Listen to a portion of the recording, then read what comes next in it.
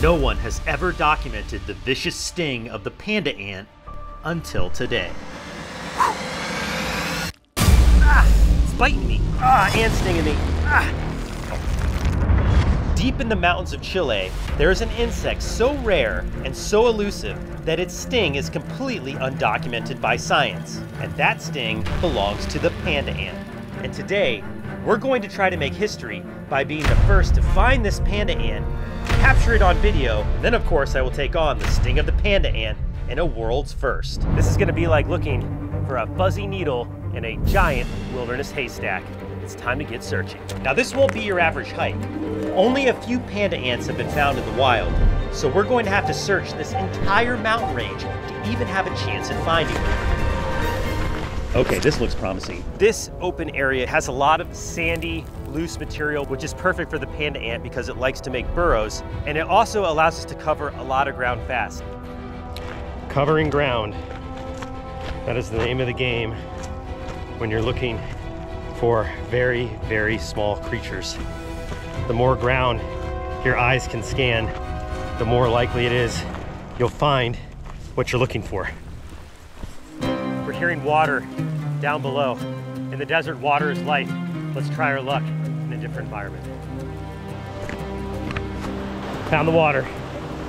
Ah, it looks so good. If you were ever stuck out here in the desert, this water would be absolutely life-saving and perfectly fine to drink running this fast. A little bouldering. Just seeing water is a boost of energy.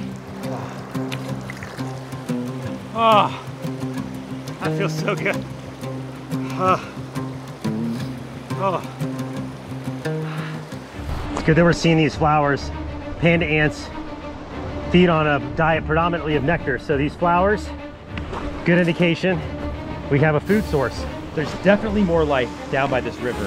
Finally feels like we're starting to close in on the panda ant.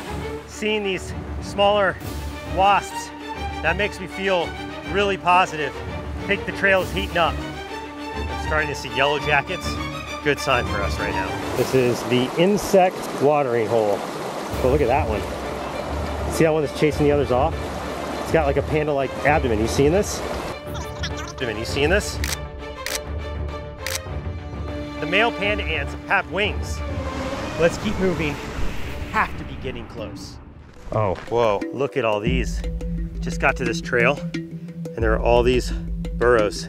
I can't say whether or not these are definitively panda ant burrows, but they're the right size and right shape and in the right place. Finally feels like we're starting to close in on the panda ant. Panda ant right there.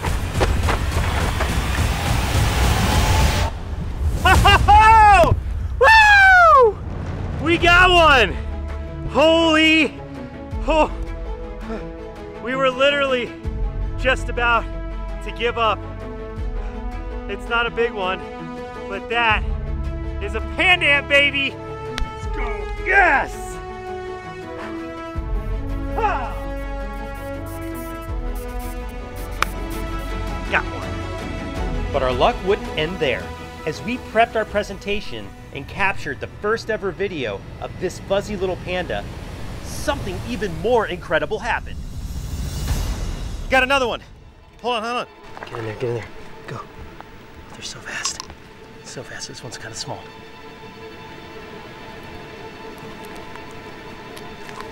Don't want to get stung. Not, uh, not yet, anyway.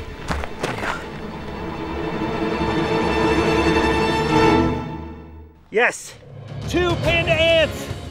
Holy cow. And this one really looks like a panda. Wow. Not one, but two panda ants. This is such a rare opportunity to film this world famous creature. There is almost no footage of this species. In fact, this is likely the first 4K footage the world has seen of the panda ant, the world's smallest panda.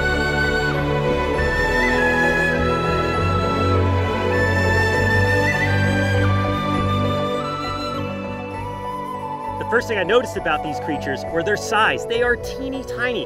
Look at the little capsules that we had to bring with us for this presentation.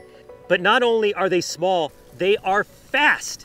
I cannot believe we actually were able to get them into the containers. It's not likely that we're gonna be able to get very much B-roll of them walking around. All it would take is a small little hole or crack in the ground and they are poof, gone.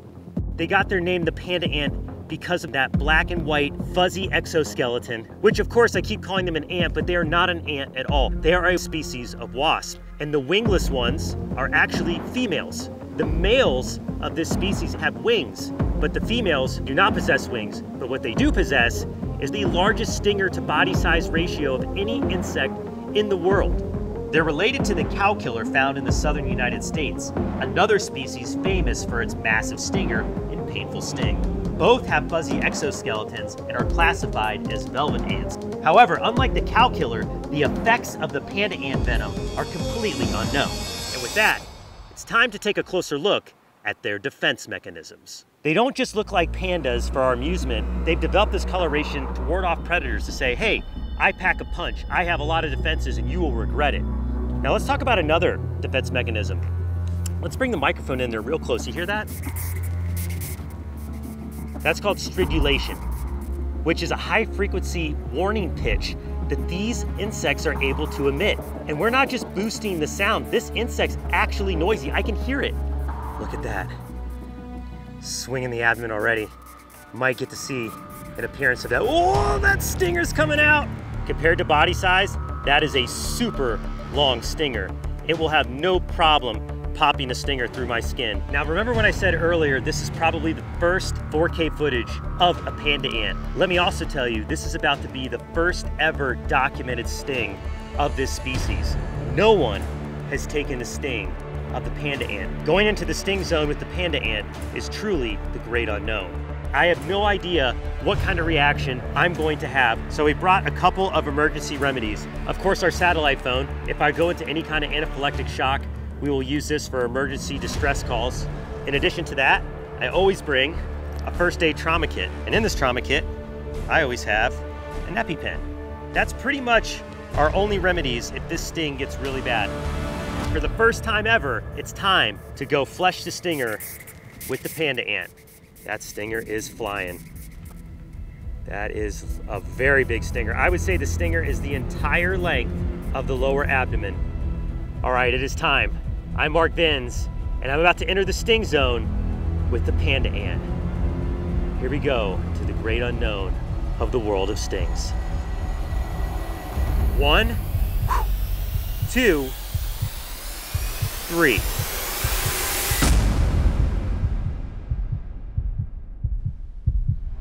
Ah. Yep, stinger's in. Stinger's in. Ah. Ah. Oh, I dropped her. Where'd she go? Oh, it's here. Definitely stung me. Uh, Maybe under the wall. yeah, let me see. Ah, they're so fast. And they blend in perfectly where she can't have gotten far. Look around. Here, I'm gonna look over here. All right, yeah, yeah. Keep looking, keep looking. Oh no! Oh! Ah, well, unfortunately, I dropped the ant. She definitely gave me a sting before hightailing it out of here. We've got two distinct sting marks. I would say it's probably similar to that of a hornet, but luckily for us, we have one more ant. In fact, this is the one that looks most like a panda. So, it's time to see if the world's smallest panda packs a potent punch. Gotta get a good grip. I know it looks easy, but it is so hard to get a good grip on these tiny little panda ants. There we go. Okay, stinger's going. One, two, three. Ah! Ooh, yeah, okay. Definitely took a really good sting and a bite. See this panda's jaws locked into me? Ah, I think this panda ant's bite is worse than its sting. Ah, definitely getting little micro stings. This tiny panda ant just might not be big enough to deliver a full punch. Okay. Well, you can see here, I got two really good stings. from the ant that got away. And then I probably have, I don't know, like a dozen little micro stings. I left it there for a while, but there were there was one or two really good ones. Oh my God, there it is. Got it. We just found the first panda ant. Wow, I cannot believe it. What am I supposed to do with you? You ran away, and now you're back. Should we try to get like another wallop? All right, well, gonna go for another sting. I don't know if I got a full one that first time around. On three. One, two, three. Ah, yep, got me. Ah, it's biting me. Ah, ant stinging me. Got a good one there. Ah. Okay, yeah, all right. Mm-hmm. Really not a remarkable sting, even though we're getting a lot of redness and little micro swelling around those sting sites. This might have been the world's cutest sting. The sting of the tiny panda ant is no match for its growl. All right, let's let this little panda back into the wild. While the pain was manageable right after the sting, the secondary reaction roared back the next day, where I had redness, swelling, and a relentless itch. So while the panda ant might be cute, the sting of this tiny insect should definitely be avoided. Oh, don't want to take a sting yet. Ah. Here, I got to corner him, I got to corner him. Here we go. All right, here we go, ready? I got him. You guys see a shot? Got it. One, two, three. Ah. Oh, yeah. Ah, yeah, they can pinch. They can pinch really good. Ah, he's pinching me. When they pinch you, your first instinct is to let go of that tail. And that's exactly what the scorpion wants. So it can wield that stinger and inflict a painful punch. Ooh, but you just gotta fight through it. Eventually he'll relax and realize he's been caught. But look at the size of that scorpion. That is one serious arachnid. Let's see just how painful the giant hairy scorpion really is. Oh boy, would you take a look at that? Look at the size of that scorpion. And it is time for another sting test, this time with America's largest scorpion, the giant desert hairy. Now we found this scorpion just feet away, right here at our Airbnb in Tucson, Arizona. In fact, check this out. We have a we have a live studio audience today. Try to keep it down, guys. The giant desert hairy scorpion earns its name because it is truly giant. Most scorpions out here are a fraction of the size of this one. This is a truly huge arachnid with a stinger that is also giant. And this is a species that you would come across. If you lived in Arizona or you're out here adventuring, this is certainly an animal that can end up inside your house. I want to take a sting today to show you just how severe the sting from this scorpion truly is. And then we will know once and for all whether or not we need to be afraid of this hairy arachnid. We're also going to rank this sting on three factors intimidation, pain, and aftermath, scoring each from 1 to 10, and then we will average the total to see where this scorpion rates on the brand new and official Brave Wilderness Bite Sting Index. Boy, it is fired up and aggressive already. Holy cow, look at those pinchers. This scorpion is big enough to actually give you a sizable pinch. So when I first pick it up today, I'm gonna get walloped right off the bat. Now, before I get stung, let's talk about some of the things I brought with me for the test today. I brought with me some Sting Kill. I have never used Sting Kill on any of my sting tests before, so I thought, hey, it's in my pack. Let's give it a shot with today's scorpion sting to see if this sting antidote actually relieves the pain from a scorpion. And then, of course, I always bring with me my first aid kit along with my EpiPen. Just in case I have some sort of severe allergic reaction to this venom, the EpiPen will save me in time to get to emergency services. So I always carry an EpiPen Never attempt to do what I'm about to do. This is not a good idea. Yes, I think this is going to hurt very badly. Please do not attempt to do what you're about to see. I am definitely nervous. I am always nervous before I take a sting from a species for the first time because until you take the venom firsthand, you never really know how bad it's going to be. So with that, I think it's time to get hands-on and release the beast. You guys ready? Got the shot? Okay.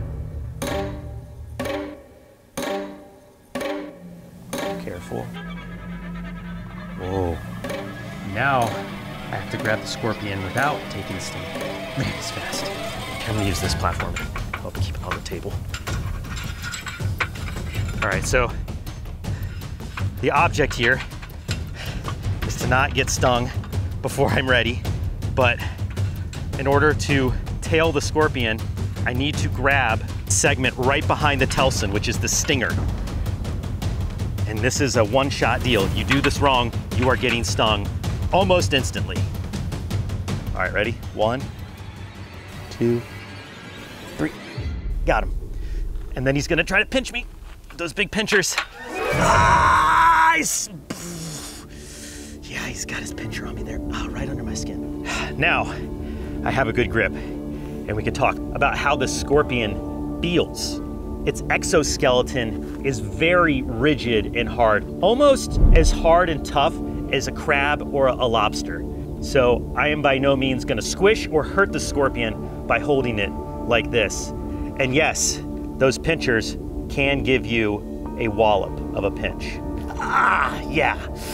Mmm, one more time for good measure. Now, another kind of interesting thing is the face of this scorpion. You can see it has some eyes right here at the sides, and it has eyes right there in the center, similar to a spider. It gets its name, the giant desert hairy, not only because it's giant in size, but because it's also hairy. You can see the hairs off of all the appendages, and you can really see the hairs coming off the tip of the stinger there. You see that? And those hairs help the scorpion sense its environment. This is an arachnid, having eight legs, related to spiders, but of course it has a much different defense mechanism than a spider. Spiders use fangs to inject venom. Scorpions inject venom with the stinger on their tail. Okay, I think it's time to talk about the business end of the scorpion. The sting of the giant desert hairy is delivered by the tip of the stinger, the telson, which has a venom gland within it that delivers its venom like a hypodermic needle.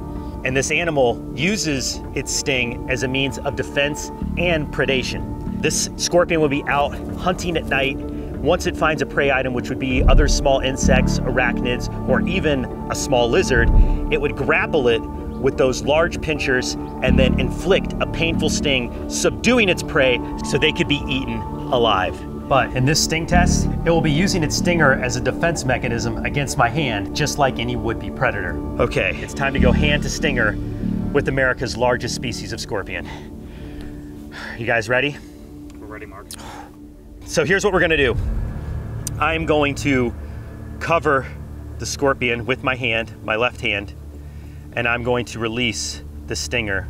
When I do that, this scorpion is going to instantly go into defense mode and rapidly sting me with that tail. And I can tell you right now, this scorpion is fired up. It is ready to go. It's pinched me multiple times and it means business.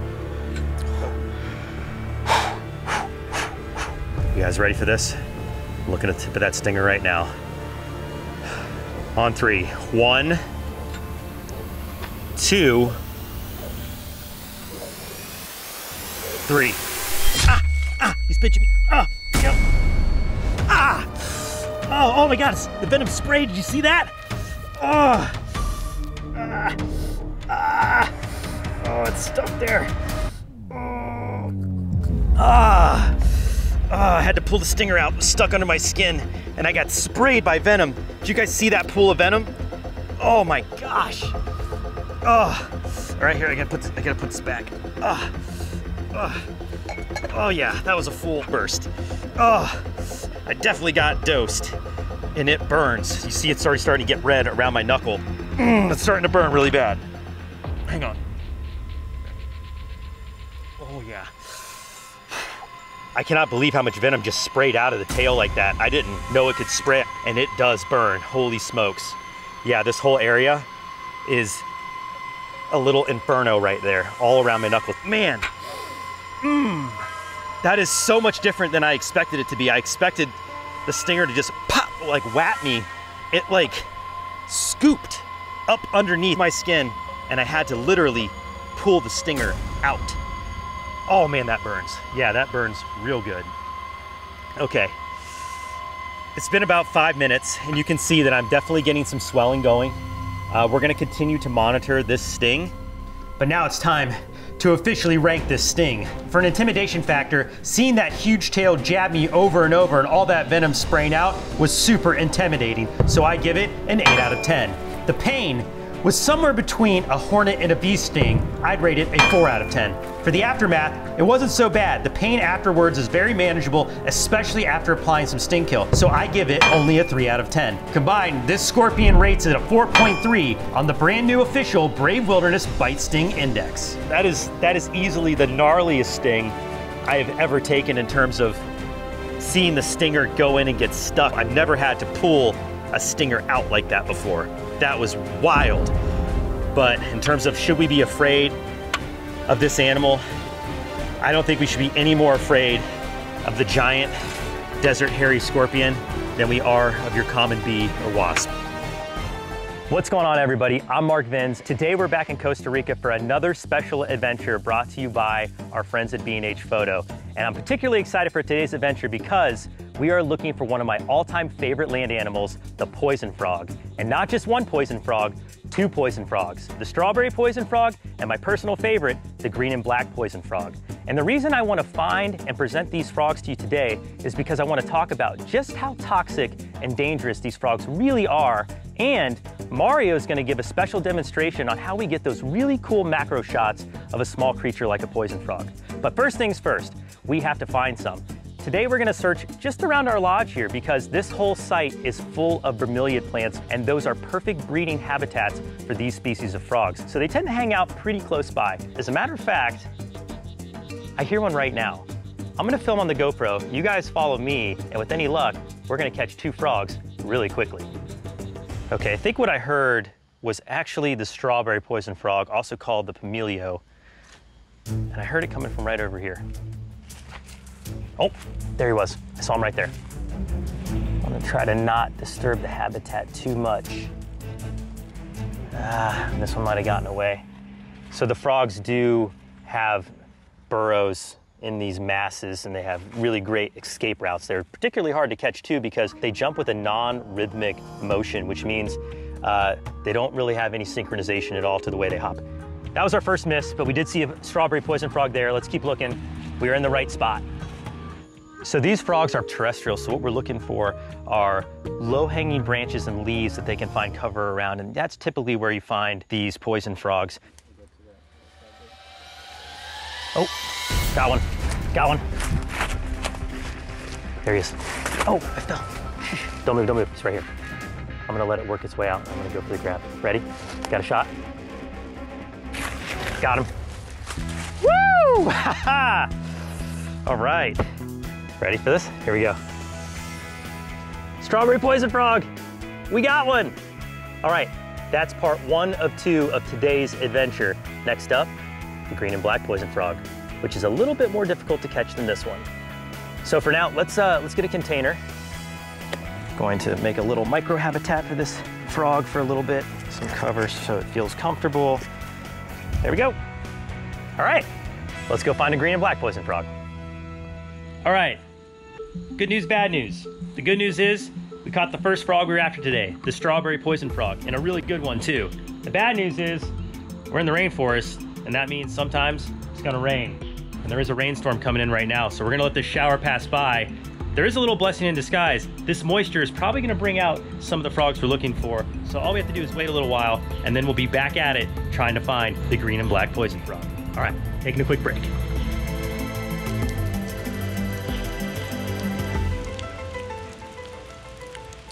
So the rainstorm has passed by, which is good news. Also good news because all of a sudden the rainforest has come to life. We're hearing tons of frogs calling right now. Can you hear that? I can hear about six or seven different species distinctively right now that I wasn't hearing before, so this is a really good sign that we may come across that green and black poison frog a little sooner than we thought.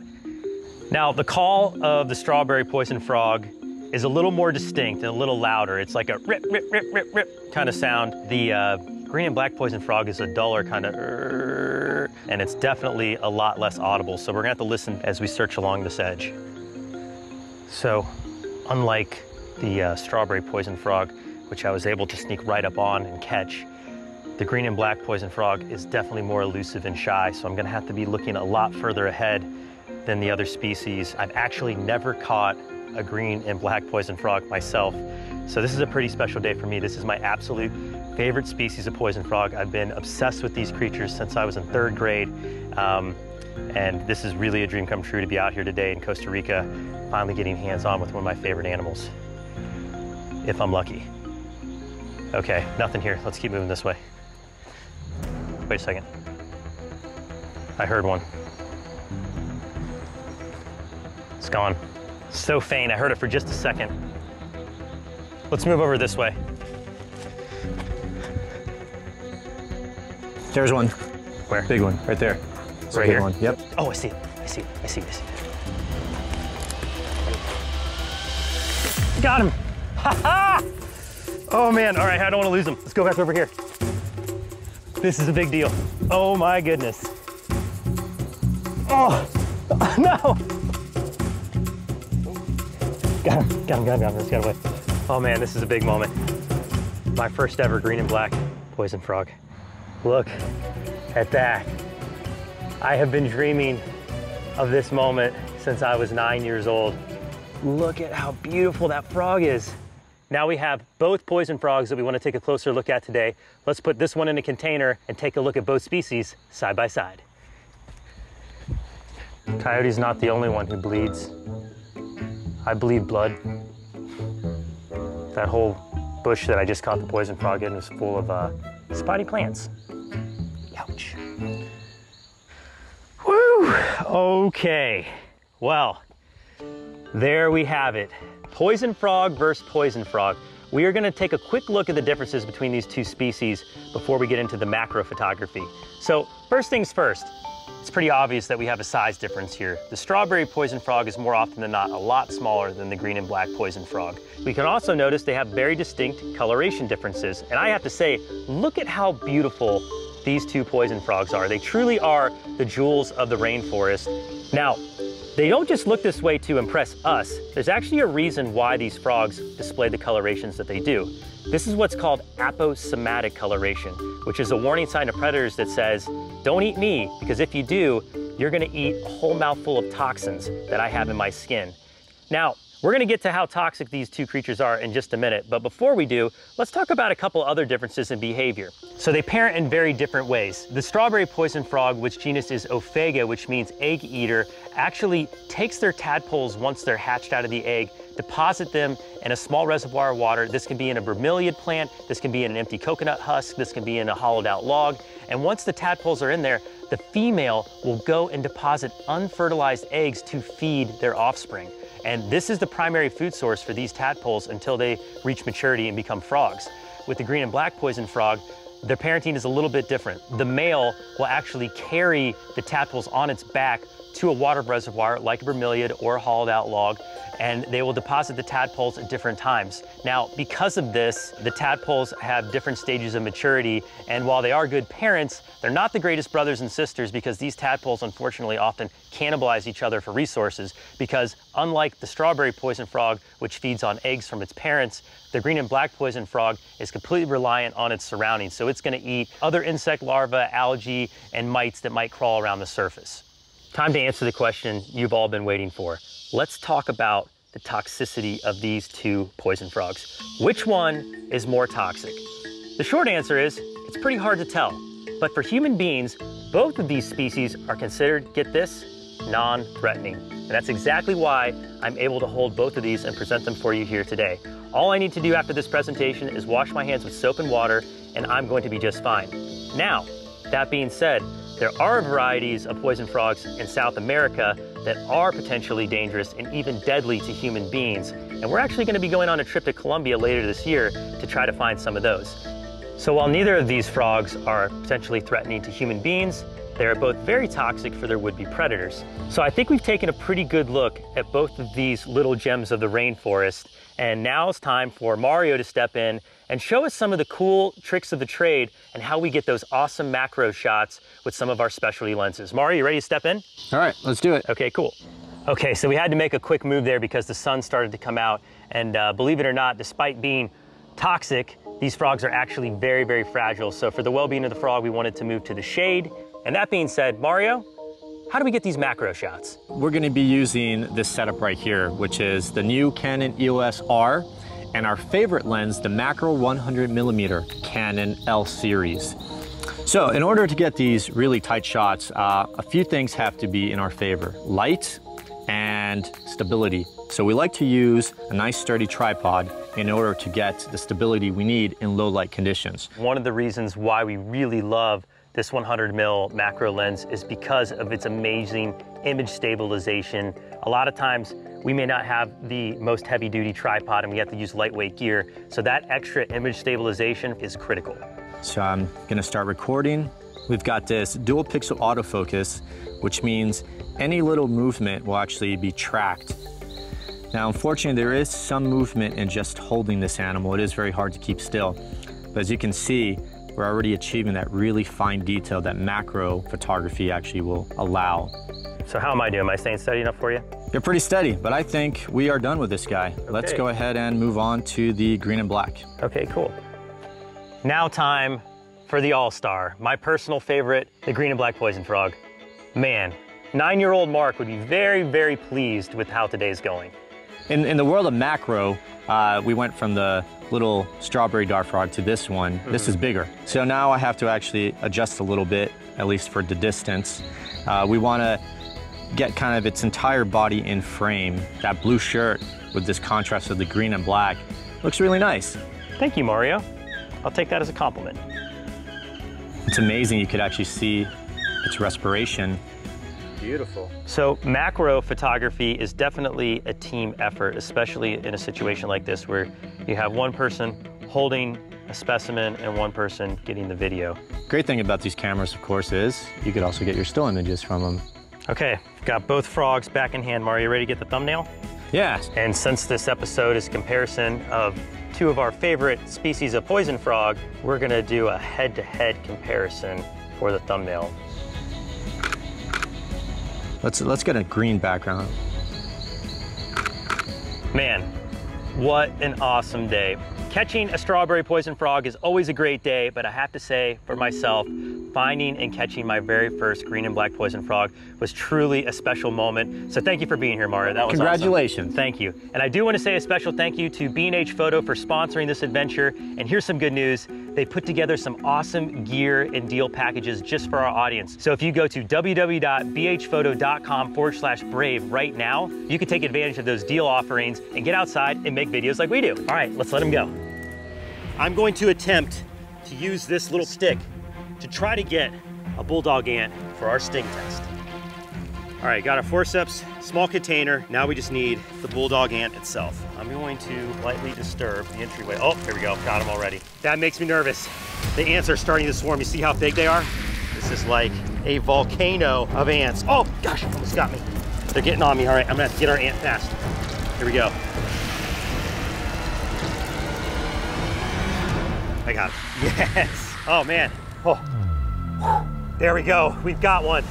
That is a really good sized bulldog ant. Starting to swarm a little too much. To hang out here. Let's go reposition away from the nest so we can get a closer look at one of the scariest ants in the world. Australians fear these massive ants because they attack in swarms and without warning. If you accidentally disturb them, you can be covered in just a matter of seconds. Bulldog ants can be found all over Australia, and often build nests in people's yards and local parks, which is exactly where we discovered these ants. This particular species is one of the largest, growing to over one inch in length. And of course, for this sting test, we wanted the big dogs, so we can compare how they rank against the legendary bullet ants of South and Central America. Now it's time to find out which is worse. All right, guys, it is officially go time with the bulldog ant. Look at the size of this insect. Size-wise, I would definitely say it gives the bullet ant a run for its money, but appearance, this ant is second to none when it comes to intimidation factor. But before I test the might of this insect, let's get it out of the container and take an even closer look at those jaws and its stinger. All right, here we go. Well, it's already jumping out. I wanna be very careful right now and they are so aggressive. Look at that, it's already biting on the forceps. I'm just gonna try my best to get a good grip And I'm getting nervous. Gosh, hang on. All right, I gotta get it on the ground. Here we go. Unlike other ants, they don't really react to scents and pheromones, they react to sight. So anytime I try to grab it with the forceps, it sees that I'm coming. There we go. Okay, perfect hold. There it is.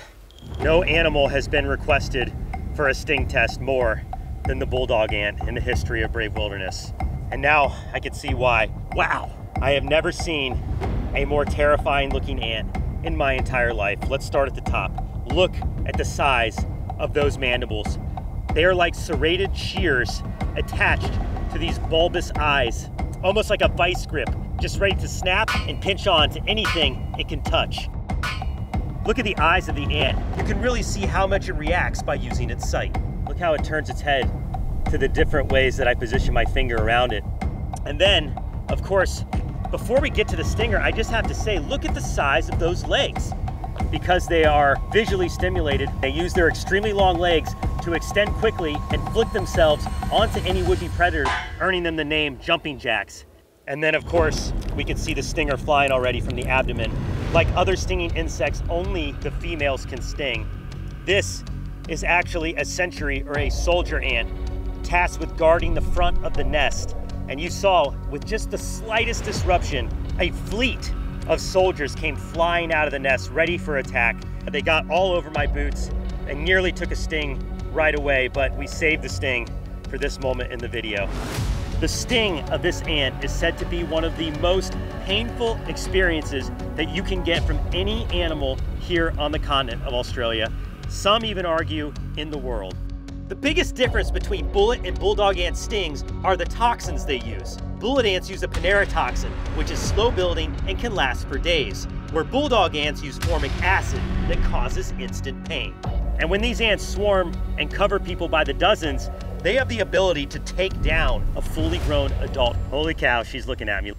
Oh my gosh, look at that stinger go. I have a feeling this is going to hurt. I'm Mark Vins, and I'm about to enter the sting zone with one of the most terrifying ants on the planet, the Australian bulldog ant. On three. One, two, three.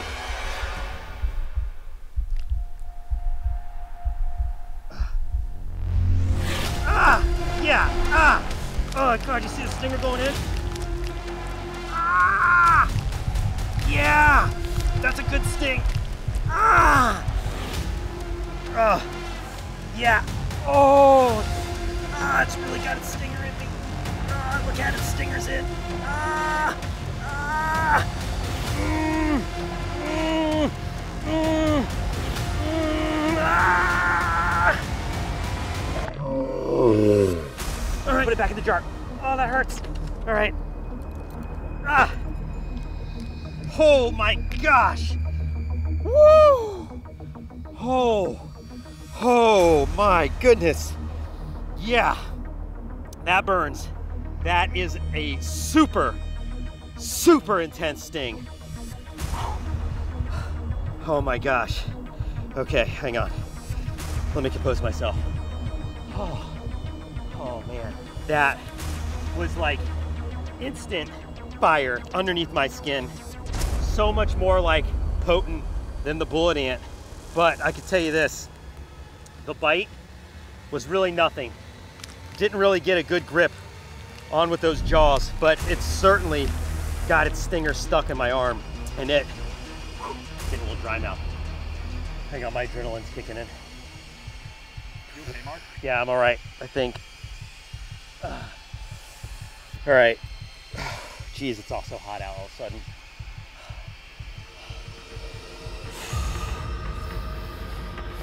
All right. I think I'm good to continue on. All right. Oh, you bulldog. Ah, all right. See that stinger site? Got a little bit of a acute swelling, maybe some residual bumps, and it definitely burns. I would say the initial onset of the sting, it was like a lightning bolt, way more intense than a bullet ant. But and I can tell you it's already starting to subside a bit. But wow, that is a rip shot of pain. Man.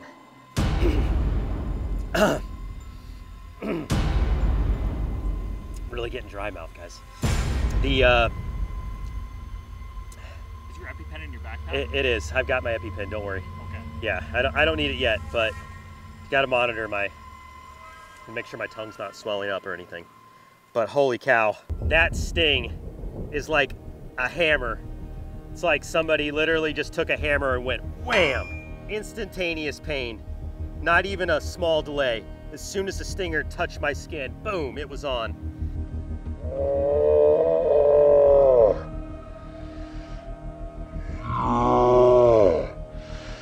Oh, I hope you enjoyed that one because I don't think I want to go armed to stinger again with that intimidating little ant. Now, I am not out of the woods by any means. I'm going to continue to monitor this sting over the next two days. I can tell you this a single sting from a bulldog ant so far does not compete with the bullet ant. Unlike the bullet ant that just started to build and build and build, I'm starting to really get past that initial wave of pain. And now I'm just really more dealing with the uh, the after effects of adrenaline. Starting to get that like queasy stomach, cold sweat, and just simple nausea that I usually get after taking a sting. But a swarm of bulldog ants, I would estimate, could take even the most pain tolerant person to their knees. All right, I think I'm gonna need some ice. Ugh. Sure enough, things got a lot worse. Just hours later, the redness and inflammation flared up and were joined by an intense itching that lasted for several days. Compared to other stings I've taken, this one was a sleeper that turned into a monster. Bulldog ant stings are known for their instant pain, so I was shocked when I was hit with these delayed reactions. While I did not experience the 24 hours of deep bone break pain that the bullet ant gave me, ah! Oh, oh, that hurts. Mm, ah! That is searing pain. This was far from an ordinary walk in the park. In fact, as of the editing of this video, my arm is still discolored and healing. If I were to have been swarmed and stung like the stick in the beginning of the video, it would have been a very bad situation. But now I know exactly why Australians go so far out of their way to avoid the jumping terror that is the bulldog ant. Yikes. We are in the outback of Western Australia looking for a truly bizarre creature, and it's covered in razor sharp spines. Let's just say catching this one, it's gonna hurt a little. This creature is just as shy as it is sharp, so first we have to track one down in this huge forest, which also happens to be home to another one of the rarest and most endangered animals on the planet, that we're also trying to find by the end of this video. But in order to catch this giant spike ball, we're going to need to look for clues. Oh yeah, right there, check that out. This is a termite nest. This will be a perfect feast for the creature that we're after today. That tells me we are on the right track. Let's keep searching. Our second clue is that these creatures love to hide near trees and stumps. So that's where we're spending the most time looking. The problem is, this forest is full of hiding places. This is like looking for a needle or a big pile of needles in a giant haystack. After hours of searching, we got lucky with the discovery of a final clue. That is a good sign right there. That's some poop from the creature we're after. You can see all the ants and termites in here. That means we're getting close. Oh, right there. That's an echidna. Look at that. Ho ho! Yes! That is what we have been looking for all morning long. That is Australia's spikiest creature, the echidna. And it is, yeah, wow, that is sharp. Okay, the echidna from the top is a tank riddled with spikes and a super tough skin.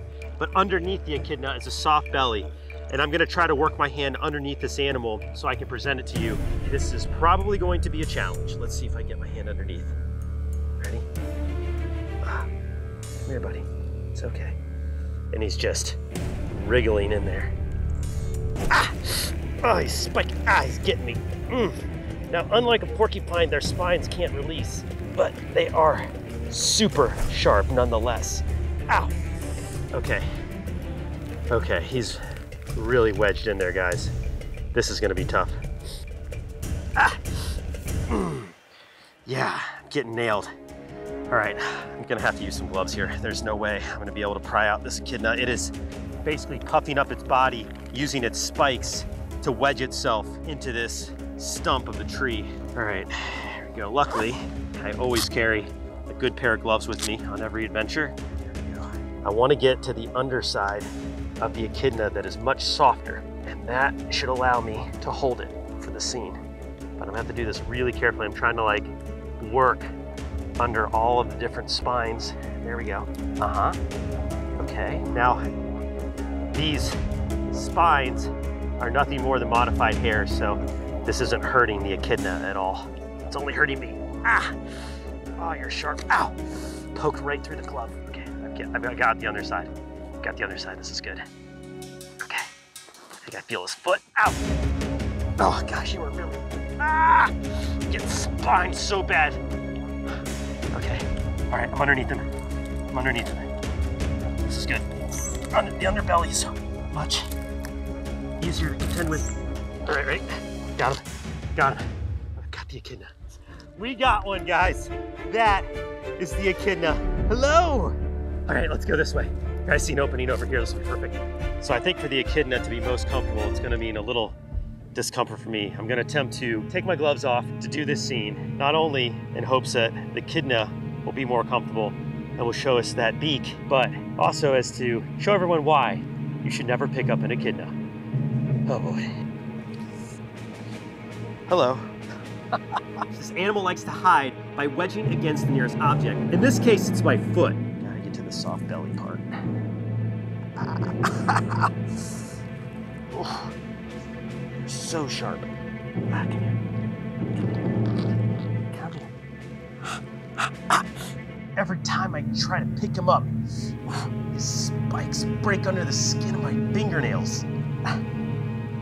Come on, come on, come on, Knuckles. Anybody who is a fan of the Sonic the Hedgehog video game definitely knows Knuckles the Echidna. And you are tough as nails, Knuckles. Yeah! Hey, buddy, I'm gonna put you on my knee, if that's okay. It's going through my pants. Ah, Knuckles! Oh my gosh, it's so sharp. Okay, hi. You are the spikiest creature I have ever held with my bare hands. Oh my goodness. Okay. This animal from the top side is almost bulletproof from any predator. Not only does it have these sharp spines, but the top hide is very tough.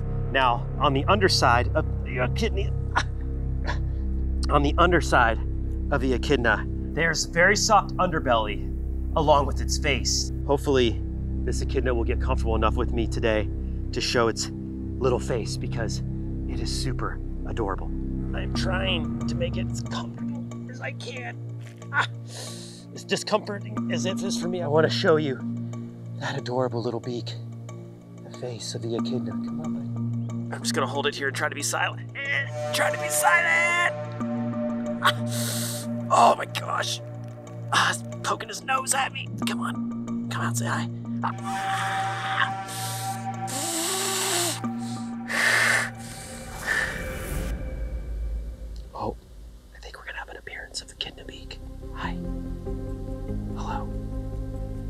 Come say hi. Oh, I can see the eyeball. Come say hi. Ah! No, no, no, no. That's a no. Door slammed. There we go. Get a shot. Show us your cute little mug. Try to be quiet. Fight through the pain. Because I want you to see the face of the echidna. Come out. Come out show us. Show us the face. Ah. Ah. Here comes. Here comes. Here comes. Can you see it? Oh, there's a snout. Mm, guys, get the shot. Get the shot.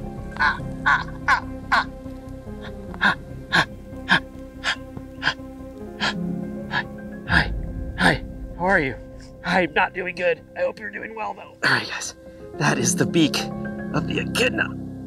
And it has been very painful to get on camera. Ah, you little, you little, you little spike ball. Ah. Okay, okay. So you can see the boogery nose there. These animals just recently were discovered to be able to regulate their body heat by blowing snot bubbles on their nose. Oh man. Okay. Just gotta work through the pain a little bit. So an echidna feasts on a diet made up completely of ants and termites. In fact, this animal also has some of the best hearing of any animal in Australia, and it's so sophisticated, they can actually hear the termites and the ants crawling underground, which is why we have to be so quiet. It's so sharp. It is so sharp. And now, compared to the hedgehog, an echidna weighs a lot more. I would say this echidna is in excess of 10 pounds. And just the weight alone, oh, makes it super sharp and its spines Ah, its spines are so sharp, guys. Okay. Ah. Now, you get a shot of that foot, you'll notice that it's actually backwards. That is a very unusual trait. A lot of times when people are tracking echidnas, they will actually follow them the opposite direction because of the fact that those hind feet are flipped in the opposite direction. These animals have long claws on the back of their feet that are primed for digging, and the echidna has the ability to dig in. And a lot of times when you see these in the environment, they are literally just a ball of spikes. In fact, the only predator that really targets the echidna here in Australia is the feral invasive fox. They'll actually pee on the back of these animals and get them to flip over to expose that soft underbelly. From the top, the echidna is almost bulletproof. From underneath, they're a little teddy bear. And that's why it curls up into a ball, just like this. All right. Look at that face. Ow, you hurt me. You hurt me so. Okay, okay, put him down, put him down. Ah, ah. Definitely drew some blood. That is like wildlife acupuncture. I do not recommend it. It's time to put our echidna back where we found it. And honestly, I'm not sure who's happier about this, me or the echidna. My hands are on fire right now. Ouch. With the echidna safely back in its tree and my hands throbbing in pain, it's now time to track down one of the rarest animals on the planet, the numbat, one of the last living relatives of the now extinct Tasmanian tiger. Most of the remaining numbats in the world live in Dryandra National Park, but Dryandra is completely surrounded by farmland, trapping the numbats inside. This forest is really the last place we can find them. Spotting one is going to be really challenging because they blend into the landscape perfectly. Luckily, just like the echidna, numbats feed on termites, so we know we're on the right trail. We searched the forest really hard for over six hours without a sign of anything. It was a ghost town, but just when I was thinking about giving up for the day, I noticed something furry running through the bushes. Oh my gosh, that's him. Oh my god. There he is. I Found one! I got him. I'm filming a numbat. He's looking right at me. Oh, I can't believe it. Wow. This is one of the last numbats on the planet. Numbats are a critically endangered species with less than 1,000 left in the wild. Places like Dryandra National Park in Australia are so important in protecting species like this from going extinct. And that's why it's important that this forest remains standing. This has to be one of the rarest animals I've ever filmed. What's he what's he doing now? What's he doing? No. Is he trying to crawl inside? No way! Never gonna fit. Ha! Look at his little legs go. He can barely fit. Is he gonna make it? Oh! Oh! and there he goes. Right now, I am out tide pooling in Eastern Australia in search of the deadliest creature on the planet. The blue ring octopus has one of the most toxic venoms on Earth, and if we're lucky enough to find one, I'm going to attempt to touch it with my bare hands. But first things first, let's get looking. From experience tide pooling, the best results are usually from the edge. The further out you can go, the better. An octopus can change the texture of its skin, and it would just look like any of these. Now I've struck out on all three previous trying to locate a blue ring octopus. I'm hoping fourth time's a charm. The difference this time is I'm searching with my good friend Miller Wilson, who has seen blue rings in these tide pools before. It's very hard to pick a octopus that's a master of camouflage out from this environment. It's about to be low tide, and this is probably one of the most dangerous tide pools that I have ever searched. So wearing some nice protective shoes, gloves. I don't really want to handle the octopus, but the gloves should protect me just in case. And of course, you still need to watch our steps because if you look at this, all these rocks out here, exactly like a stonefish. And this is stonefish territory. The stonefish is the world's most venomous fish. If you step on one, your boots will not protect you. A single sting from a stonefish can be excruciating and can even be deadly. No octopus. Flipping's not really doing it, so I'm just gonna cruise to cover a lot of ground looking for movement. A lot of times I do see octopus moving from pocket to pocket, but they slink along the surface. So I'm just looking for any movement right now. Any movement, we're getting it though, feel it.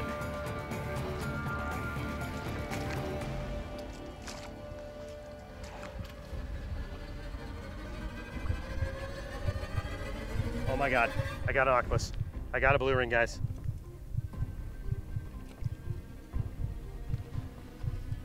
It's right here.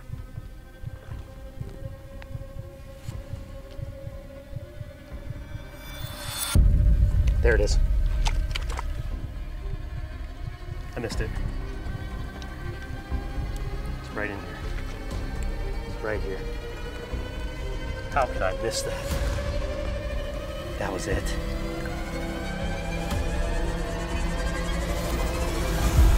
Got it. Oh my gosh. We got one. Are you kidding me? Yes! Boom, baby! Boom. Yes! Holy cow. Miller! We're good. We got one. Can you help me get out of the net? So, you'll see I'm wearing gloves, guys, for a reason right now. This is this is a really good way to get a nip. And that is not what I want. Put that guy in there. Hello. Hey, buddy. Let's talk about what we found. Right there in my hand is the most dangerous animal on the planet, at least when it comes to venom. Nothing in the animal kingdom is more toxic than this tiny little octopus. And yes, I am nervous about it, but before the end of this video, I will officially touch with my bare hand the most dangerous and toxic creature on Earth. There are actually four described varieties of blue ring octopus. This one is the blue lined octopus. It's the only one in the family that has these really cool, vivid blue pinstripes surrounding the body. It's almost like blue tiger stripes. So if this animal is at all threatened, here I want to show you what it does. See that? Look at those rings go. Is that cool or what? Oh, oh, oh, okay. Stay down, stay down. If the octopus is all agitated, not only does it flare up the rings on its arms, but those lines on its body glow. Back up, I'm toxic. That's your aposematic warning. And if you don't listen to me, I'm gonna give you a nip. And they show these vivid display warnings not only for predators, but they also do it while they're hunting. They will do it to confuse or startle their would-be prey. This is what our octopus friend here is out hunting. This is a type of shore crab, but this would be the perfect food for the octopus. All right, we're gonna let this crab go. A single bite from this octopus could kill over 20 human beings. Needless to say, if I get nipped by this creature, that'll be the last nip I ever take. Now these octopus are nocturnal and they are masters of camouflage. Its normal color pattern perfectly blends in to this silty environment. They have three hearts that pump blue blood. They also have nine brains. One central brain to run the entire nervous system, but then at the base of each arm, they have another brain. And you can see there, that little beak holds two venom sacs. And it's actually a toxin that it doesn't even produce itself, that it actually picks up through bacteria that it finds in the environment. Through other organisms in this tide pool and it collects this bacteria in its salival glands and when it uses its beak to bite into its prey or a predator for escape, it will actually inject saliva into the wound. Once this saliva enters the bloodstream, you get infected with TTX. No animal has as lethal of a dose as the blue ring octopus does. If you get even a micro amount of TTX in your bloodstream, all you can do is be put on life support and hope that eventually your body works through the toxin on its own. And here's the worst part about it. While you might be in complete paralysis, you are lucid. There are survivors that have lived to tell the tale of having people try to resuscitate them, giving active CPR, and they weren't able to communicate, but they remember everything. And a lot of people get bitten by these octopus because of mistaken identity. You'll come out to a local beach in Tidepool. Guys, turn your cameras right now. This is an active beach. People take their dogs and kids and play on this beach, and these animals live all along the coastline. Now, that's not to scare you. Obviously, we're out here actively looking for them. They're hard to find, but people do unfortunately come into contact with these octopus and they will pick them up, play with them, and in that process take a bite, which is completely painless by the way. Initial symptoms are going to be things like tingling, difficulty breathing, difficulty thinking, loss of your motor skills, wobbly walking. If you think you are ever bitten by a blue ring octopus and you start to have symptoms, you have to be rushed to the hospital fast as you can. We're talking like life flight situation because you only have a matter of minutes before your whole nervous system starts to shut down and you're no longer able to breathe. Whew. And saying all that while holding the octopus in your hand, it's hard to remember the last time I was this nervous in the presence of an animal. All right, time has come for something that I've thought a lot about. Because I know the only way that this octopus has the ability to envenomate you is a bite with its beak. I'm going to attempt to touch with my bare hand the most lethal, toxic animal on the planet. In order to do that, I'm gonna just dump out this water. Look at that. The octopus is trying to mimic the color of the cube. Rest assured, this is just a camouflage tactic. They are masters at this. That octopus is still very much able to pounce and bite, they can spend extended periods out of water. All right, so just so you guys know, uh, if this blue ring does snare me, we're going to the hospital on three. One, two,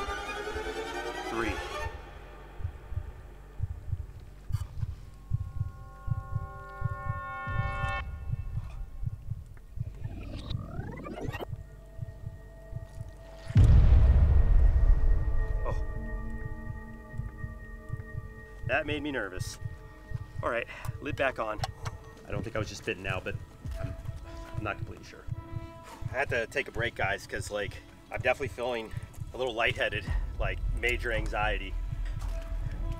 That animal right there, if you get bit, it's game over. It's lights out. Guys, I am like shaking right now. Like my feet are tingling.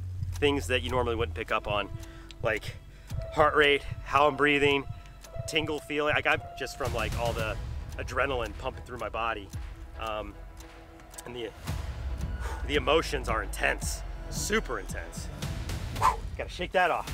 The anxiety that I'm experiencing on camera is real, as I had almost identical symptoms to that of a blue ring bite. While I was 99% sure I wasn't bitten, we had to closely monitor my symptoms until we deemed it safe enough to continue filming. The symptoms of these bites can be subtle, and can be hard to differentiate from anxiety and panic from other sources of stress. Please, never attempt to do what you are seeing in this video.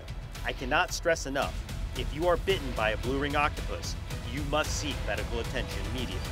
I think I'm all right. I think I'm okay to continue. Let's keep going. Okay. I, it's been a while since I've had this kind of reaction to being in an encounter with an animal. Like it's like my first time seeing a venomous snake. It's like whew, all kinds of emotions right now just brushing up against one in the tide pool, whether you're walking around, if you accidentally touch one, you're gonna be just fine. It's like every other octopus. The difference only occurs when you take a bite from the beak right there. What's going on everybody and welcome back to another Brave Wilderness adventure here on the edge of the Caribbean Sea at night. Now we're at Grand Cayman Island, and we did come here to swim with stingrays at Stingray City.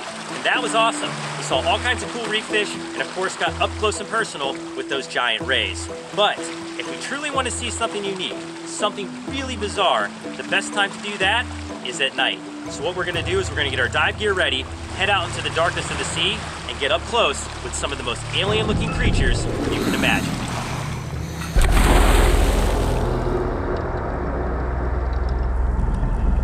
Before we can make our descent, we had to swim away from shore out to deeper water. The visibility along the way was poor and churned up by the waves, making this process much more nerve wracking than usual.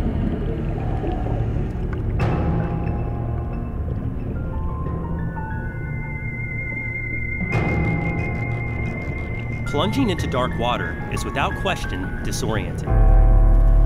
And it isn't until you regain your visibility and bearings that your instincts to turn back retreat and allow you to press forward further into darkness. My eyes struggled to scan the empty space around me for a glimpse of anything. But just like that, we have our first visitor. Drawn in by my camera lights, I find these Caribbean reef squids stunning and very interesting to observe. Oddly enough, it actually might be as equally interested in me.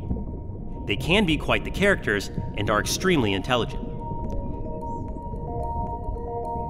It's mesmerizing how its bright coloration and translucent skin glimmer as it flutters its fins against the dark, inky water. Isn't it incredible how it can remain in perfect position with so little effort? Closely related to octopus and cuttlefish, these torpedo-shaped cephalopods have 10 appendages set in front of two very large complex eyes. And while Caribbean reef squid are normally social creatures, seeing one all alone isn't that uncommon. Wow, they really are something. What an interesting creature to kick off tonight's dive.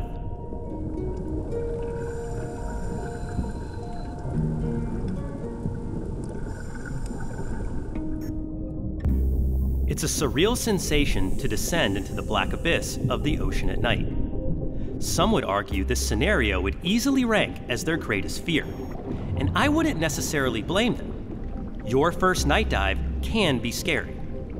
Luckily, our camera lights are strong and almost create a force field, literally pushing back the fear of the unknown and establishing the reality that exists in front of us. I learned long ago that a strong sense of curiosity can be the best defense against any fear. Curiosity, like our dive lights, can illuminate our minds to focus on what we can see instead of imagining what figments may exist beyond the shadows. And in this world, almost anything my light touches brings my curiosity to a boil. The weightlessness of diving, combined with this foreign landscape, feels like nothing less than a space odyssey. So, in the spirit of worlds beyond our imagination, tonight we are on the hunt for something truly bizarre, as I hope to encounter the aliens of the reef.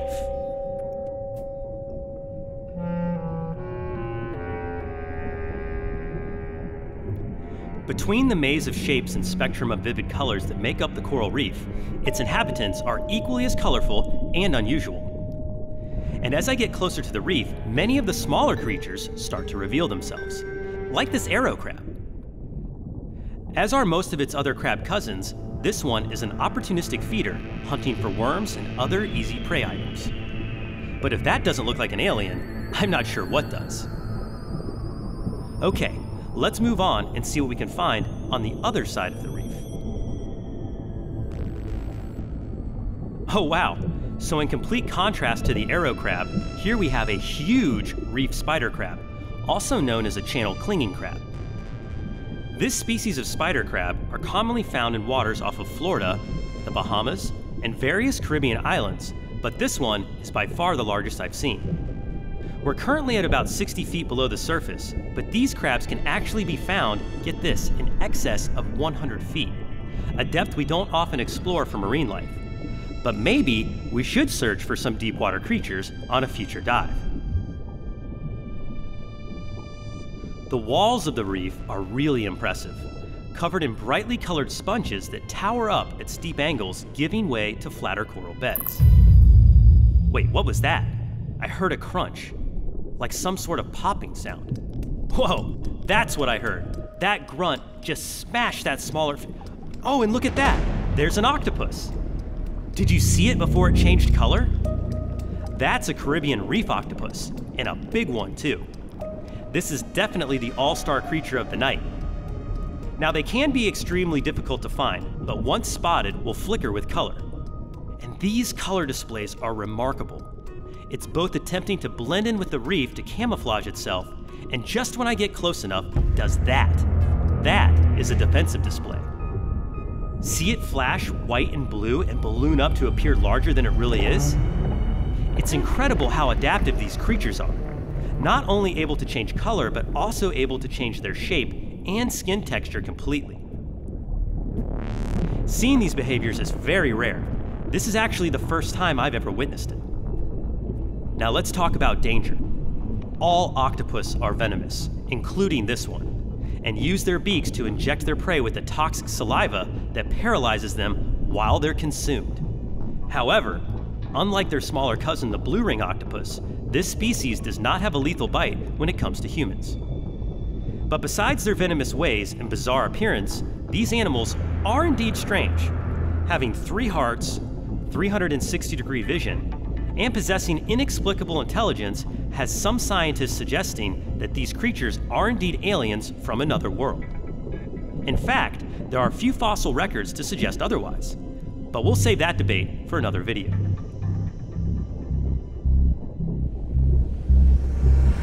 Okay, well, our computers are telling us it's time to return back to the surface, but what an epic way to end our adventure.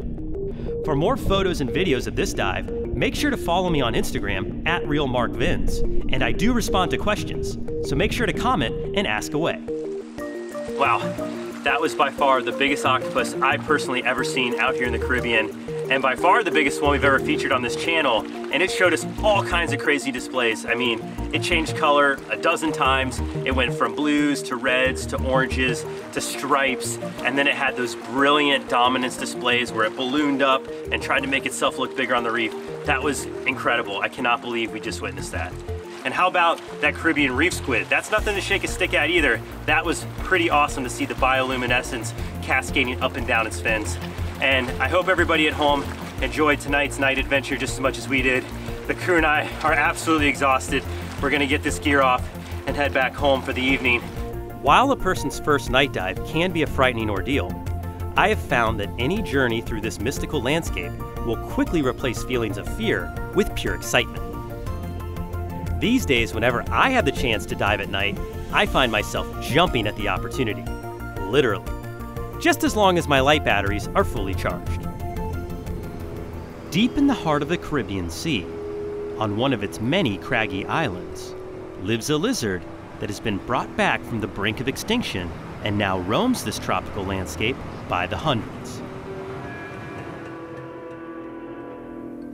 That island is Grand Cayman, and that lizard is none other than the blue iguana. And while an iguana might not immediately strike you as being unique or noteworthy, I assure you this one absolutely is because it's blue. Very blue, making it one of the most beautiful and rarest iguanas on the planet. Now, to put things in perspective, these lizards dwindled all the way down to an estimated 15 total individuals in the wild, making them functionally extinct which is where our friend Fred Burton steps in. Directly responsible for creating the Blue Iguana Recovery Program, Fred has offered us the unique opportunity to get up close with these endangered reptiles and tour the facility he started 15 years ago. Right now, what we're doing is we're trying to find one of the resident blue iguanas that's habituated to humans. His name is Peter, and apparently he's big and friendly and a great ambassador for his species. So we're trying to get close to Peter try to get the GoPro up close, try to get the cameras up close so you can see why this is such a unique lizard species. So Peter's on his favorite rock. Oh, is this Peter here? Look at him, yes. Now that is an impressive iguana. All right, guys, let's uh, come in Peter's enclosure here. Wow, look at that. Let's get a shot of Peter before we approach, just in case he wants to hop off that rock, because that is a great display of a blue iguana right there. Yeah, this is a unique species. It's only found in Grand Cayman. Okay, so the blue iguana is endemic to the Cayman Islands, and it is a species of rock iguana. We've seen rock iguanas in the past, but I have never seen one this color. I mean, and you're telling me that these blue iguanas get even more blue than this. When they're in the breeding season, yeah, he's kind of dull right now. Really? Um, when he gets hot and excited, I think you look great. and in March and April when he's courting the girls, Mm-hmm. He's, he, he will blaze blue. Um, really, really, really bright. Hi, Peter. Are we buddies? Are we gonna be pals? I think so. So, Fred, tell us a little bit about Peter. How did he come to the uh, program, and why is he so friendly? He's an interesting case because we were just walking around out in the open there a good many years ago, and we saw a young two-year-old just on the gravel, and we thought, where did he come from? Figured it must have been one of the free-roaming iguanas had laid and hatched and whatnot. But we start thinking, okay, we better catch it so we can get a blood sample and do the genetics and all this thing. So we're creeping up to this thing, and it's just looking at us. It's not afraid, Yeah. you know. And we just walk up to this iguana and pick him up, and he doesn't run away. And he's been like that ever since. He's, he, it's like he was born without the fear gene. You know, he Wow. just he doesn't he has no natural reaction to Friendly humans. since day one. I like it. So Peter's turning more blue because he's warming up to us. Is that what this is? He likes the attention. Yeah. All right. Well, who doesn't like a good head scratch? So, quick little uh, disclaimer to everybody at home: don't go up to a wild iguana and pet it. This is uh, not uh, a normal iguana. This is an iguana that has been habituated to humans and is used to this kind of interaction, and is why we are able to get so close to Peter today. If you try to do this to a wild rock iguana, you're going to get bit. And if you look here at Peter's mandibles, they have quite the powerful bite, and they also have a couple rows of razor sharp teeth. So you definitely do not want to get your finger or your hand caught in the jaws of a wild rock iguana. So best to leave them alone and give them their safe distance. But man, are they cool. So these um, these beads we put on every iguana we release, and we also put them on the captive iguanas in case they get out. And the idea is the combination of bead sizes and bead colors is unique to each animal, so that. Uh, you know, if we're walking around the park and we see an iguana and we want to know who that is, all we need to do is train binoculars on the beads, look them up in the database, and we'll know exactly who we're dealing with. But the other thing we I think do, Peter's sleeping. the other thing we do is we photograph the sides and the top of his head. Mm-hmm. And these big enlarged scales, if you look at the scales on his snout here, they're all a little bit irregular. Right? They don't, they're not perfectly symmetrical. Okay, yeah, yeah, and yeah. every iguana has a slightly different scale pattern. It's like a fingerprint. So we got pictures of this guy, and if this guy turned up somewhere he didn't want to be, and the pit tag was gone and the bead tag was gone, we'd still be able to match the photograph and say that is that iguana. That is Peter. that is Peter. But just judge on how we're able to approach Peter. I don't think it would take very long to figure out who it was. So one of the other cool things about rock iguanas generally are the toes. okay. So this is like a, a hook. Looks like a talon to me. So they can they they're quite good at climbing trees. They mm-hmm. don't they, you know they spend most of the time on the ground, but they're quite good at climbing trees. And these these these claws hang on to things really effectively. And for females digging nests, of course, they're great for digging too. But the the weird thing is, you know how our hands bend like this. These guys bend like this. Oh, they bend right to left. They don't bend this way. They don't bend this way, but they bend backwards. That is very interesting, Peter. And think about why, because right, they're they're constantly pulling this thing through vegetation. And now, Fred, is there any other distinct characteristic about the blue iguana that's worth noting today? I like to mention this little thing here. Okay, You see that little scale there? It looks translucent. I do. So that's the pineal eye, mm-hmm. and that's a very primitive feature in reptiles. But these aren't primitive animals. Right. Um, Light can get through there, and we think that there's a brain receptor in there. And they probably, we don't know this for sure, but we suspect that they use this for tracking day length. And that's how they subconsciously know what time of year it is and the triggers for when they need to start thinking about breeding season and all that sort of thing. Very unique sensory mechanism. Very cool, Peter. A lot of the stuff that I've described to you is useful because what we need always is for people to relate to these animals. If we want to conserve an animal like this, people need to be engaged in it, Right. right? And the thing about an animal like this is it's, it's, it, it responds to us in a way. We can, we can understand it, we can empathize. So knowing about the iguanas helps us tell stories about them, and we tell stories about these iguanas, and people start to love them. And if people start to love them, they want us to preserve them, and that's that's the way it all works. Well, I think Peter has done a phenomenal job today hanging out with us so we can learn more about his species. And as far as lovability, I mean, I tell think you. the proof is right here, guys. This is about the coolest customer I've ever witnessed when it comes to an iguana. Thank you very much for hanging out, Peter. And thank you, Fred. Really appreciate the tour of the facility. Great work on bringing back this population of beautiful reptiles. Without the efforts put in place by Fred and now sustained by the National Trust's Blue Iguana Recovery Program, these lizards would almost certainly no longer exist in the wild. What they have done for the blue iguana is truly remarkable and always makes us proud to tell one of these heroic efforts to save such a special creature. If you would like to catch a glimpse of the famous blue iguana for yourself, drop by the Queen Elizabeth II Botanic Gardens website to book a tour with the Blue Iguana Recovery Program, where you can get up close with this endemic species and, if you're lucky enough, may even get to meet Peter himself. But just don't disturb him if he's resting. The star of the island needs his beauty sleep. Hey everybody, I'm Mark Vins and welcome back to another special adventure brought to you by B&H Photo. Tonight, we are going out in the jungle looking for a ghost. No, not a paranormal ghost, a living ghost, one that we will actually find if we can locate its habitat. This animal loves moving water, so in order to find out where we need to hike tonight, we need to use the light of day and our drone to see where the stream systems exist on this property. First things first, before we can fly the drone, we've got to set it up. And today we are flying the DJI Mavic 2 Pro. This is a really awesome drone, but for us today, it's more of a reconnaissance tool so we can see the area that we're going to be adventuring in tonight. And liftoff. All right, we are up in the sky. Oh man. You know what? There's like all kinds of clouds coming in right now. This actually looks gorgeous. Check that out. So glass frogs, an arboreal frog that lives up off the ground, love river systems because that's where they lay their eggs and develop their tadpoles.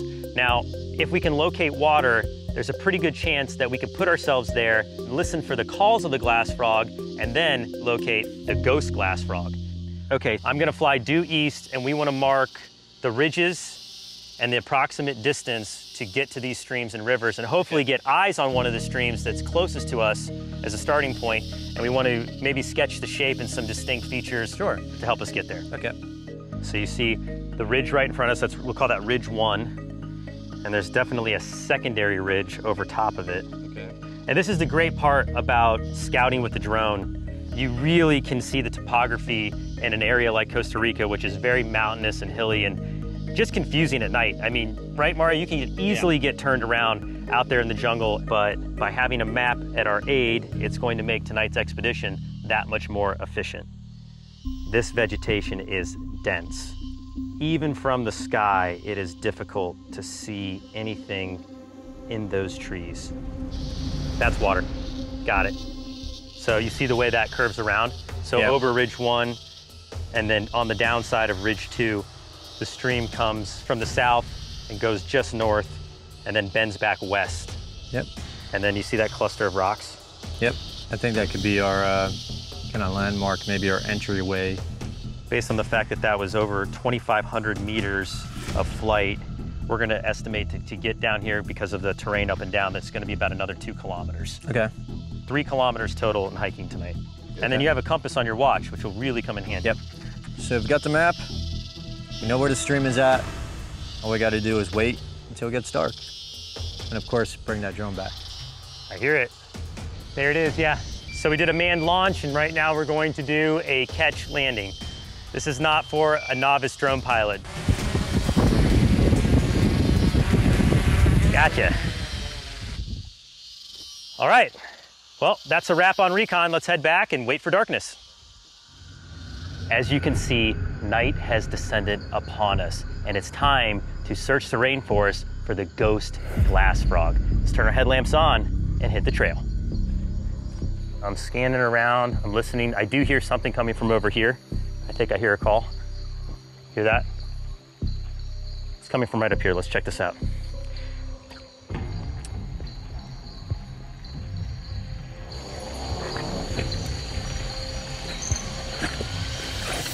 Oh, yep, right there. Look at that. Our first glass frog. Cool. Now, first things first, I'm just gonna leave it alone for a second so I get my hands wet. I don't wanna handle a frog with dry hands. Let me see if I can get this frog off its perch. Come here, little guy. Perfect. There we go. Okay. This is not the Ilex or the ghost glass frog, but it's actually one of the smallest species of glass frog here in Costa Rica, and it's the Spinosa glass frog, otherwise known as the dwarf glass frog. One of the first distinct characteristics you will notice about the glass frog is besides being that really cool translucent green, is their eyes are actually set forward as opposed to the side like we'd see in a red-eye leaf frog or some of the other frogs that we have here in Costa Rica. And that forward set eye pattern is what gives them that really cool Kermit the Frog look that they're so famous for. I think we've had it off its leaf for long enough. Let's put it back and keep searching. We've got a long night ahead of us if we're gonna find that ghost. We've gone about a kilometer east so far, and we know our final destination or the water source that we're looking for is about three kilometers east. Looks like we need to go a little northeast. Mario, you seeing that? Yep, according to my compass on my watch, yeah, if we go in this direction, it'll be kind of slightly northeast, and then uh, I think we'll get on that eastern trail as well. It's funny when you first step foot off trail, there's always this sensation that comes over you. It's just like a heightened awareness. Walking on the trail feels safe. Walking off the trail feels hazardous just by nature. So you tend to move a little bit more deliberately and you just, you see more. It's, it's really a, uh, an awesome thing to get off trail. You've got a little bit of groundwater starting here. That means the bigger stream is definitely nearby. Let's head on up here and get to the start of the stream. Dude, Fer-de-lance, Where? huge. Let me see. Holy smokes. Look at his head. Whoa! Oh my God. Whew. That is a formidable snake right there. Good spot, Mario. You want the snake hook? Uh, no, I don't think we're gonna mess with it. Just gonna get a nice shot of it. So the Fer-de-lance relies on its cryptic coloration to blend into the environment. And an animal in this position could stay in wait for hours without moving a single muscle. The name of the game is waiting when you are an ambush predator. And a snake like this has all the time in the world to wait for an unsuspecting prey item. That is exactly why you have to watch every single step you take out here because your next step could be on something like that fer-de-lance, and that'd be a very bad day for us. It looks like it's flattening out a little bit, which is good news for us. We can really start looking. I just heard a glass frog, guys, up this way. It's a very quick chirp. It's like a, hear that? Oh, guys, we got one. Yes! Oh man, I knew I heard one. All right, here we go. Hands wet. Gonna gently take it off the leaf. I am so excited to show you this frog, and you're going to see why we came all this way to show you the ghost of the rainforest, the ghost glass frog.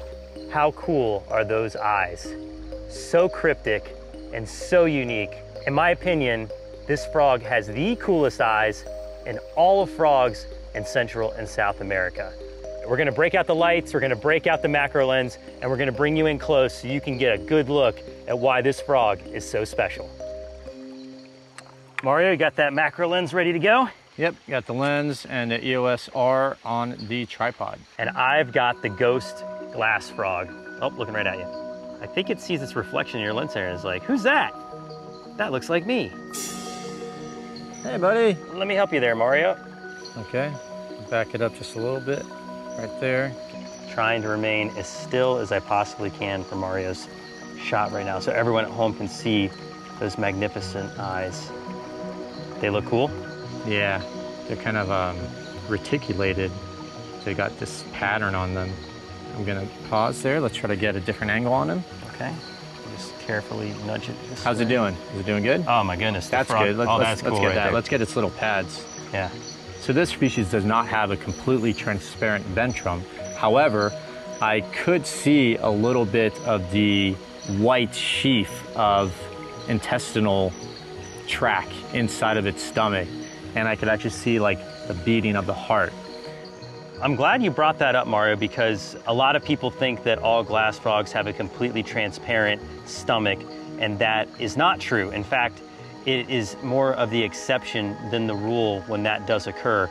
Now, if you have seen our previous glass frog episode, that was a species with a completely clear ventral side where you could actually see the heart beating and the blood flowing through the frog, which was pretty amazing. Another cool thing about the ghost glass frog, it is actually the largest species of glass frog in Costa Rica. So kind of fitting that we started tonight with the dwarf glass frog or the Spinosa, which is the smallest, and we land on the ghost glass frog, which is the biggest, but still pretty small.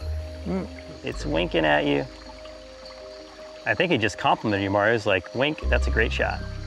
Well, I hope you see now why it was worth the effort to come all the way down here to find the ghost of the rainforest, the ghost glass frog. And I do want to give a special thank you to our friends at B&H Photo for sponsoring this episode and putting together a number of amazing deal packages for everybody at home. So if you go to www.bhphoto.com forward slash brave right now, you can take advantage of those exclusive offers. All right, let's put this guy back on his leaf and head home. Over the years, Brave Wilderness has shown you some pretty strange oddities of the animal world. We've seen tiny anteaters, worms that bite, worms that aren't even worms at all.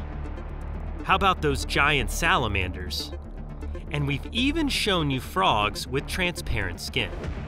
But the one I'm going to show you today is both bizarre in appearance and has one of the weirdest traits I've ever heard of. Or should I say, smelled of? Get your popcorn ready. This one is unbelievable. What's going on, everybody? I'm Mark Vins, and welcome back for another adventure here at the Wildlife HQ in Sunshine Coast, Australia. And we're here again today with Sue. And Sue, I see you have some bananas that we're going to use to feature our next guest. Yes, this is his favorite food, but most people have probably never heard of his species before. Okay, and what is his species? So they're known as a binturong, um, or their common name is a bear cat, but they're not a bear and they're not a cat. Okay, cool. I like the name bear cat. That's already piqued my interest right there. I'm gonna use a GoPro to try to see how close I can actually get, but you feel good about this? Yes, let's go. Okay, let's go find a Bearcat. to encounter a Bearcat in the wild is extremely rare, as they've become vulnerable and even endangered in much of their natural range in Southeast Asia. This is unfortunately due to poaching and habitat loss. Looks like Sari It's- has caught wind of the bananas. Yeah, it's looking pretty good here. He's having a big stretch. Come Are on. bearcats traditionally a nocturnal species? Mostly nocturnal, so not strictly, but mostly. Okay. This bearcat reminds me of a wolverine. And the wolverine we've worked with in Alaska was not nearly this calm. So I'm hoping that Sari stays in this demeanor for the entirety of this episode. He's actually a gentle giant. Okay, good. They definitely look a little bit intimidating, I will say. Look at those claws. Check out that big tail. His tail is actually fully prehensile and he can suspend his whole weight by the very tip of his tail. Hey, sorry. Hi. Look at that. Yum. Yum. Oh, yeah. How's that? That's just how, ooh, ugh. That's how I eat a banana. You are slobbering all over me. But thank you for coming down to hang out. You are very interesting. Oh, look at that claw. Look at, wants another bite. Oh my goodness. So I'm able to get a good look at these claws and they are razor sharp, no doubt for climbing trees. But the pads are almost like a bear. I could definitely see why they get the name Bearcat. Not only are they absolutely covered in this fluffy mane, but also their claws and pads are just like a black bear. Look at you, hi, how's it going? And you can see the, the cat comes from the whiskers. So to clear things up, let's talk about this name Bearcat. While possessing bear like feet and cat like whiskers, a binturong is not related to a bear or a cat. In fact, its family, Viverridae, contains many other unusual small to medium sized mammals like the civet. But this omnivorous bear cat is the largest, and although it looks an awful lot like a wolverine or a badger, it's not closely related to them either. Now, how old will a bear cat live? Uh, so up to about 25 years. Okay, and how old is, sorry if you don't mind Um, me asking, is that rude? Is that rude? Sorry. I'm sure he doesn't mind. Uh, he's about 11 years old. Okay, so the, the coloration, whoa, whoa, whoa, See, we got a little bit more left. Oh my gosh. So the, the coloration in the fur, that has nothing to do with age. It doesn't, no. And they can vary in colour depending on what region they're found. Uh, so they can be really grey right through to the black. Very cool. Now, while the hair does keep the bear cat warm, it also doubles as a natural raincoat, keeping this arboreal species dry up in the treetops. All right, we've got one last little piece, sorry. This is gonna be it. This is the outro. You ready? Well, I hope you guys enjoyed hanging out with this bear cat as much as I did today. Thank you, Sue, so much. If you guys are ever in the Sunshine Coast of Australia, say hello to our friend the Bearcat sorry. You won't be disappointed. Uh, we're about to leave and then I saw this. That's not rain, it's pee. And it smells just like popcorn. Oh my gosh. It's like all around us. I cannot believe that. If you told me, hey, somebody's got a fresh bag of popcorn ready, I would believe you right now. Holy smokes. All right, banana drop, I'm out.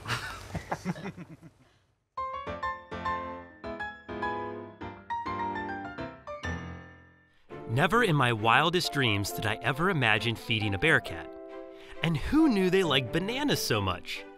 But boy, the shocker of the century had to be this animal's unique and oddly familiar scent. While bear cats always smell subtly like corn chips because of their musk, their pee smells just like buttered popcorn. Not kind of like it, or somewhat like it, we're talking exactly like it. And this is due to the chemical compound in their urine known as 2-acetyl 1-pyrroline, which is the same chemical compound created in the popcorn popping process when sugars and amino acids interact at high temperatures. Honestly, before today, if you were to tell me any animal's urine would smell exactly like my favorite snack food, my answer would be no way. But it does. Let's just say going to the movies will never be the same. Huge thanks goes out to Australia's Wildlife HQ. We love the HQ because they are a small family owned wildlife park run by passionate conservationists who aid in important efforts, including the Queensland Koala Crusaders, a group in particular need at the moment as a result from the fires. Their support for conserving wildlife means that by paying a visit, you can both have the rare opportunity to get up close with some incredible creatures and conserve them all at the same time. Lizard, lizard, right here. You guys rolling? Whoa, check that out. Look at that. This is a shingleback. Wow, what an amazingly cool lizard this is.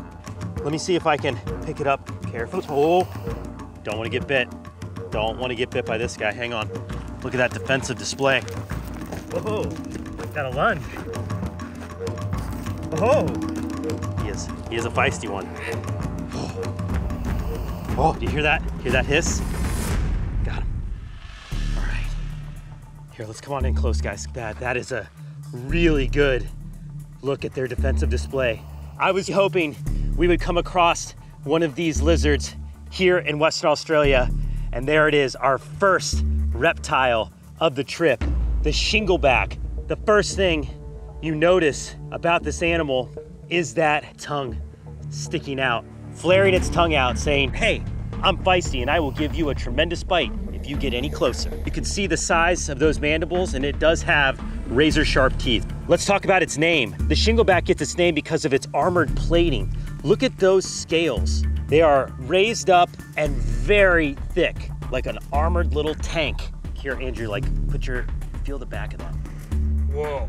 He's super tough. He's super tough. An extra tough lizard that utilizes its scales to ward off predators. Those armored scales would act like a plate, a barrier, to hopefully protect it long enough to scurry away. Now, Some people would call this a shingleback, others would know it as a bobtail. It gets the name bobtail because of this little nubby tail on the back, which has a couple of purposes. The first purpose is it's a defense mechanism because it's a false head. So if there's a predator like a hawk or a snake that comes in and tries to eat this lizard, it might accidentally go for the wrong side because it looks a lot like its head. And that would be good for this lizard because it would give it a chance to get away. Now, another purpose for that bobtail is it's a fat store. Being out here in the desert, water is scarce and energy can be scarce. So certain times of the season, while this lizard can be hibernating, it relies on the fat stores in its tail to survive. Now these lizards are a species of blue tongue skink, and while their tongue isn't as bright as their cousin the eastern blue tongue, I think their armored appearance makes them the coolest of these spunky Australian lizards. I want to be very clear, I do not want to take a bite from this lizard. It has very strong jaws because it is an omnivore. It feasts on a diet of snails and beetles, so it requires strong mandibles to crush those shells up. And I don't want you to crush my finger, right? Because we're gonna be friends, because I'm gonna help you out too before the end of this video. These lizards can be found while road cruising out here in the outback. They are often victims of car strikes because they like to stay on the road to get warmth. They are ectothermic, so we're gonna help you cross the road, buddy, don't worry. But we're also gonna help you out with something else. Now, one of the things that we can do is to remove some of its parasites. You see that right there? Let's get a tight shot. These reptiles are known to be covered in ticks. So anytime we encounter an animal with visible parasites like leeches, barnacles, or ticks, we always do our best to try to remove them if possible. In this case, removing these pesky bloodsuckers will cause no pain to the lizard and will certainly help its chances for survival in this harsh desert environment. This is a little bit risky right here. Getting my fingers super close to those jaws. Got him. Oh. Oh no. There's more. Hang on, buddy. We'll help you out here. Ah, guys, there are so many ticks on this lizard. That one was in its left ear, and the ticks do like to go for the softer part, so ears and in between the scales. I'm gonna try to try this one out. Here we go. Yeah. Gotcha. There we go. And there is another tick. See? That's what friends do. We remove ticks from each other's ears. You would do the same for me, wouldn't you? Now, this is not a tick that would burrow into a human, but they can actually get about 20 times this size by engorging themselves with the blood of these reptiles. I've actually found a tick on another shingleback before that was the size of a grape. Ugh, disgusting, right? Ugh, we don't want ticks. I think I got the main ticks off of you. Oh no, you got another one deep in your ear. Got him. Got him. They are all stuffed in his ear. How did you get so many ticks inside your ear? Oh gosh, guys. There are so many ticks in this lizard's ear. Guys, You guys are gonna wanna get a shot of this, it's gross. Ugh, look at that. Dude, where have you been?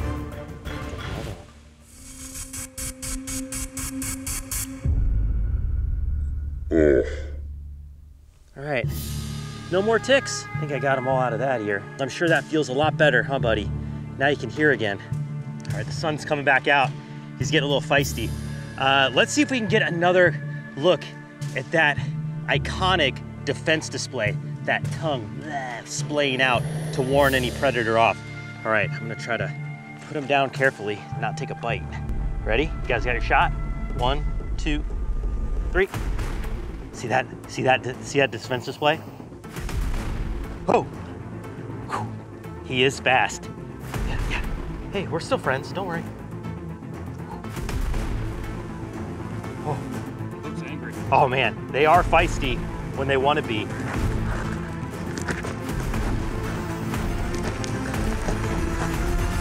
Oh, not messing around, are you, buddy? Ah, too close. Gosh, he bit down hard. Oh, guys, Look at that bite. We are trying to get the thumbnail and I was using my hat to shade and he's totally bit my hat. Oh my gosh, it is strong. I don't think it's gonna let go. You would not want to take a bite from this lizard.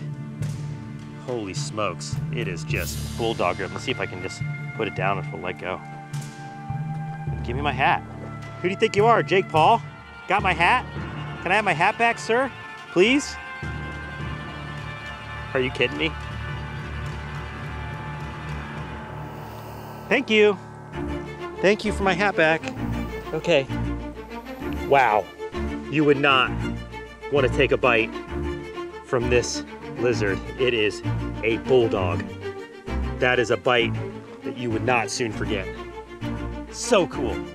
Out here in Western Australia and our first encounter with the shingleback. I'm Mark Vins. Be brave. Stay wild. We'll see you on the next adventure. All right, let's put this one across the road and continue on our way.